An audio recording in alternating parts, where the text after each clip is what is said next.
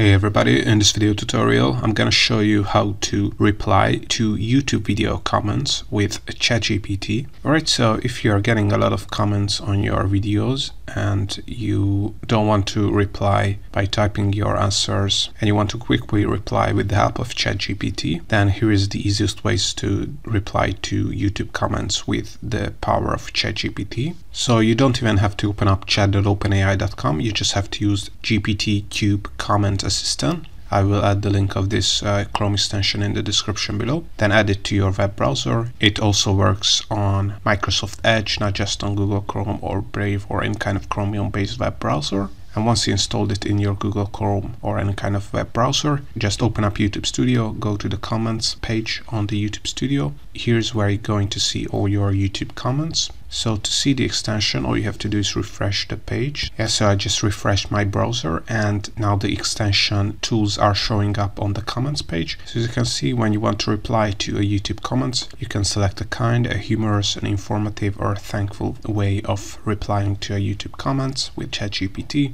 So let's select kind and click on submit. Wait a couple of seconds and then as you can see here's the answer that ChatGPT has come up with. Thank you so much for your kind words. I'm really glad to hear that you found the video helpful. Is there anything else you'd like to see covered in future videos? So as you can see, this is a better way to engage with the users who are commenting on your videos and build a community this way.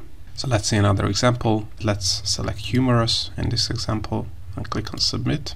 Wait a couple of seconds and now as you can see this is also really good. So as you can see, it's really humorous. So all in all, this is how to use uh, ChatGPT with this Chrome extension to reply to YouTube comments.